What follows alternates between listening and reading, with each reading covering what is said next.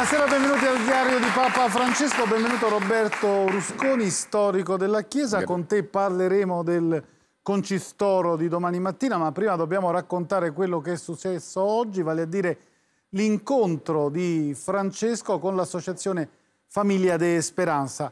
Lo faremo insieme a Nelson Giovanelli, che saluto, che è fondatore di questa associazione. Ma Buonasera Nelson, ma prima di parlare con te andiamo ad ascoltare che cosa vi ha detto Papa Francesco per festeggiare i vostri 40 anni di storia. 40 anni or sono il vostro carisma è nato dalla richiesta di aiuto di un giovane che voleva liberarsi dalla dipendenza dalla droga. In lui e in tutti coloro che sono venuti dopo di lui. Avete riconosciuto Cristo che vi diceva ero schiavo della droga e mi avete accolto per portarmi nuovamente la speranza e farmi capire che una nuova vita è possibile. La chiamata che Dio vi fa di portare speranza a coloro che forse non hanno più un senso nella loro vita è una chiamata ad amarlo incondizionalmente nelle persone che si trovano in situazioni di vulnerabilità sociale. Voi sapete bene che portare speranza significa non solo aiutare a sconfiggere i vizi, a superare i traumi, a ritrovare il posto della famiglia, della società, però ciò che più desta l'attenzione e conferma la validità del lavoro sono le conversioni. Il ritrovamento di Dio e la partecipazione attiva alla vita della Chiesa. Il vostro carisma della speranza come dono suscitato in mezzo a voi dallo Spirito Santo vi porta a prendervi cura delle persone nella loro integralità materiale e spirituale, corpo e anima. Nelson, abbiamo ascoltato Papa Francesco raccontare l'origine della vostra storia. Tutto è nato da una richiesta di aiuto di un ragazzo che aveva problemi di dipendenza dalla droga. Che è successo però in 40 anni? Che cos'è oggi la famiglia della speranza? La famiglia della speranza è una comunità che come Papa Francesco ha detto da adesso eh, da una richiesta di un giovane che io ho trovato eh, per le strade, insieme ad altri 20 giovani che prendevano la droga, avevano spazzatura e, e con il desiderio di eh, vivere il Vangelo, loro ci hanno chiesto aiuto, ho portato loro alla, alla nostra comunità parrocchiale eh, però non mi immaginavo che da questa piccola esperienza eh, è diventata una comunità, un'associazione internazionale dei fedeli che oggi è sparsa in 26 paesi, paesi eh, con ben più di 160 comunità. Una di queste è qui in Italia, in Calabria.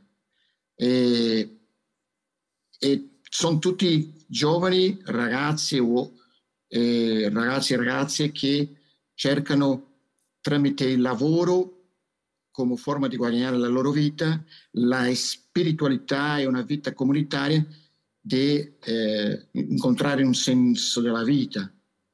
E sono 40 anni passati e nel 2007 abbiamo ricevuto la visita di Papa Benedetto in quel momento eravamo solo 48 comunità e già di quella visita che Papa Benedetto ha fatto a noi ha dato una, così, una visibilità così grande che dopo 15 anni siamo sparsi in tutte eh, queste diocesi eh, in 26 paesi. Visto che il vostro carisma, l'ha detto il Papa, è la speranza, la speranza riceve tutti i giorni, credo, dei duri colpi da storie di dolore, di sofferenza, da ingiustizie, da guerre. Che cosa significa per voi avere il carisma della speranza, non solo mantenerla viva, ma contagiarla? significa per noi quello che eh, lo stesso Papa Benedetto ci ha detto quando la, ha fatto la visita. E lui dopo ha scritto una lettera per condividere quello che è rimasto nel suo cuore, dicendo che la speranza è Gesù Cristo e ha detto che contava su di noi che, di portare questa speranza dovunque al numero più, più grande dei giovani. E 60% di quelli che sono da noi, eh, che gestiscono queste, queste, comunità, sono giovani che si, si sono recuperati e hanno deciso di dare la loro vita per eh, gratuitamente donare quello che hanno ricevuto gratis. E allora buon Perciò, cammino per i prossimi 40 anni. Allora, è, è continuare a dare questa, questa speranza a, alle famiglie, specialmente alle mamme, perché sappiamo che questa sofferenza portano un, un dolore immenso a, ai genitori e continuare a dare questa speranza a tutti. Grazie davvero Nelson, buon lavoro e auguri. Veniamo allora quello che succede domani mattina alle 10, il concistoro e la creazione di nuovi 21 cardinali. Torniamo al giorno di luglio in cui Francesco ha annunciato l'appuntamento di domattina.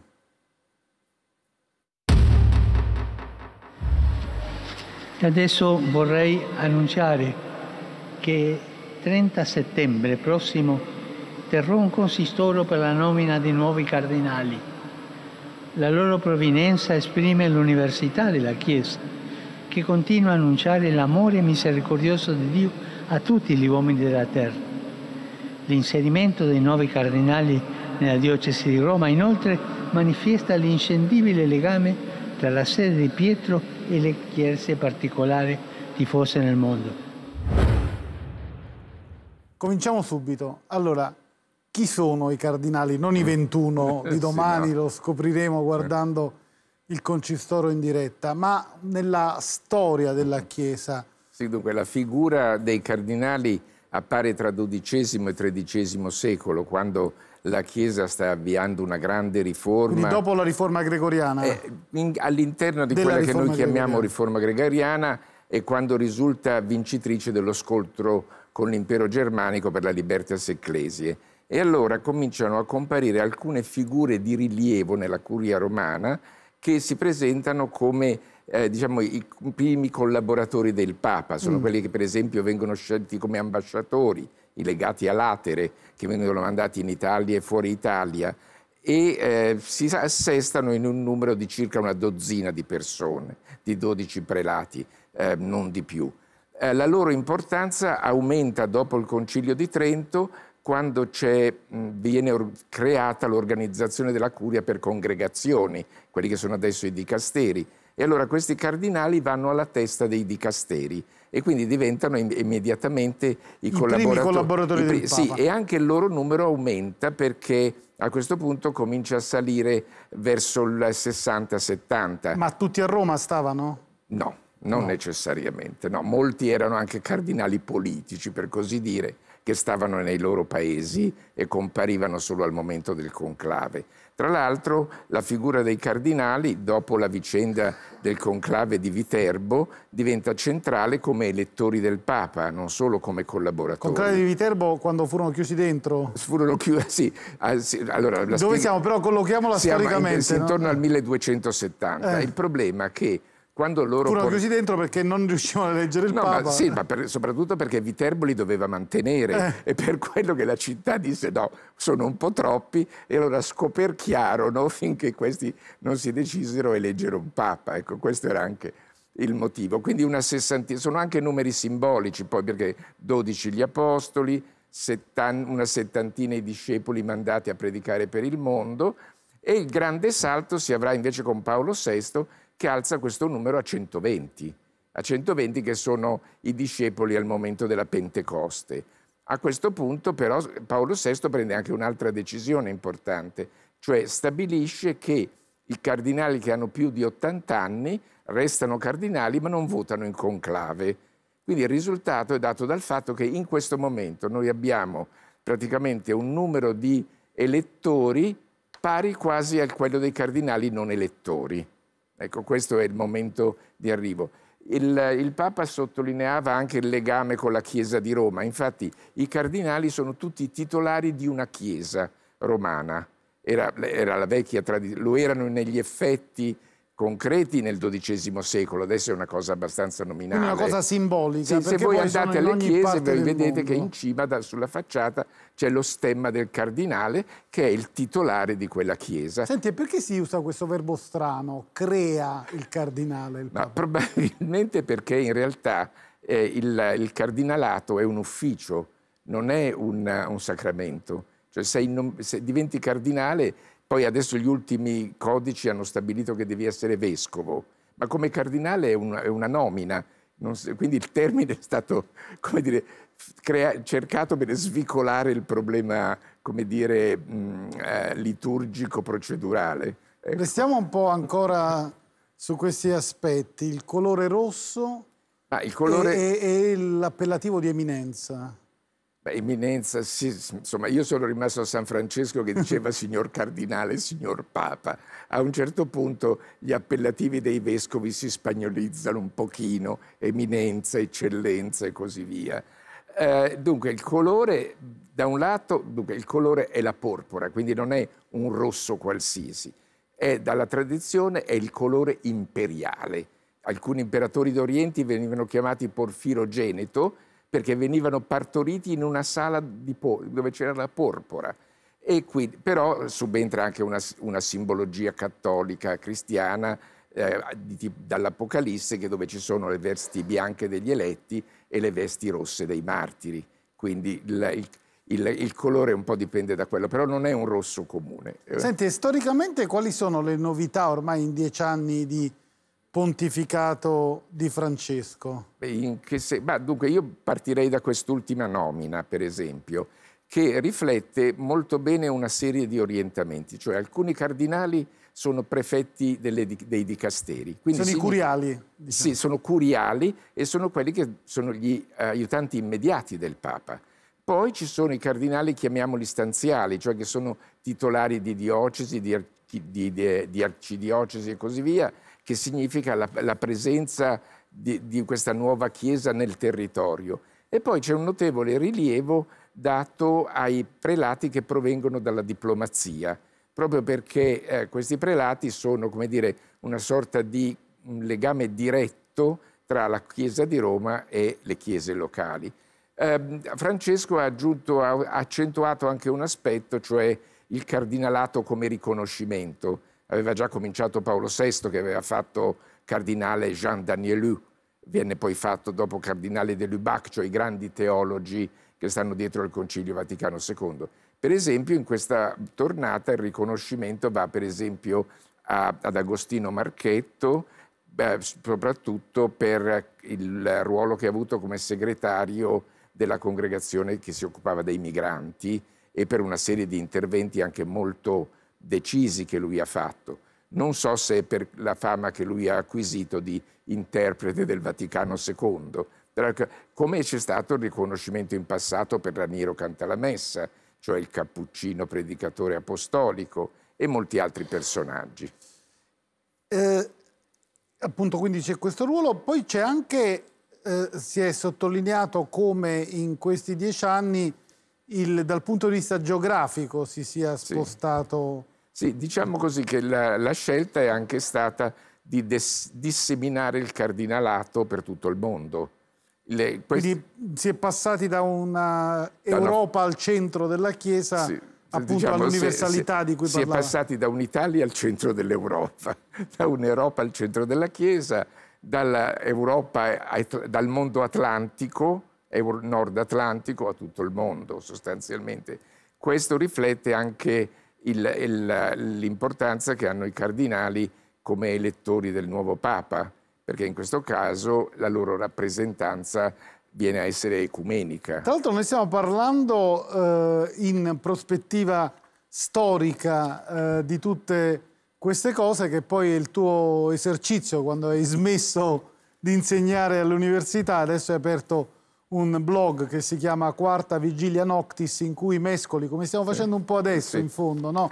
attualità e storia ed è sempre una prospettiva molto interessante. Non so se l'abbiamo fatto anche ecco. vedere un attimo. Sì. No, eh, perché il, il, il problema è sostanzialmente tutto quello che accade adesso, non è che accada nel vuoto e soprattutto c'è un problema che si è posto eh, lavorando soprattutto sulla Chiesa contemporanea.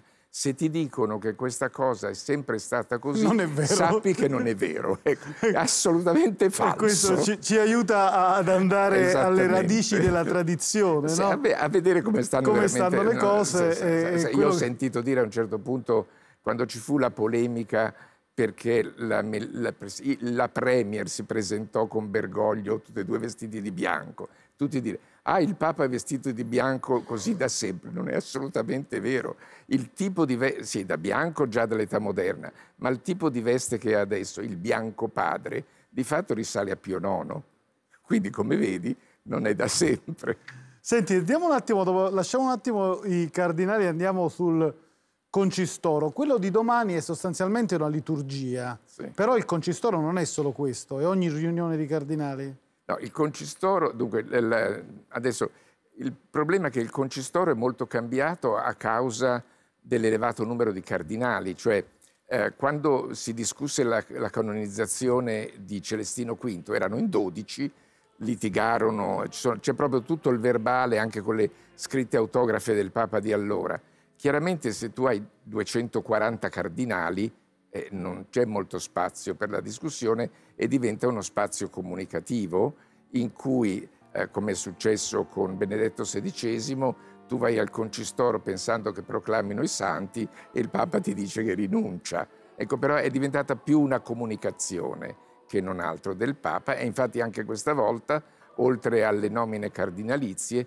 ci sarà la proclamazione di alcuni santi. Però quella che vedremo in particolare domani è proprio una liturgia della creazione. Sì, della creazione, sì. sì ecco, però bisogna cardinali. sottolineare che il cardinalato, come il papato, non sono sacramenti, sono uffici. Che questo è molto importante dal punto di vista teologico. Che significa dire sono uffici? Significa che è un incarico che una tu funzione, svolgi. Diciamo. È una funzione che tu svolgi. E quindi la, la, la, la, tua caratteristica fondamentale per, in questo caso è di essere vescovo, ma cardinale o papa comunque è una, è una funzione.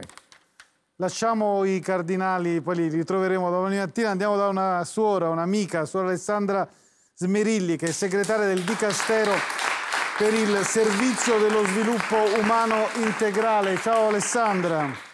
Ciao a tutti. E allora dove ti trovi? Raccontacelo tu. Eh.